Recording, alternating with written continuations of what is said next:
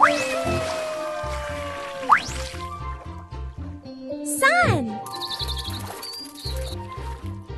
Uh, uh, sun. Let's say it again.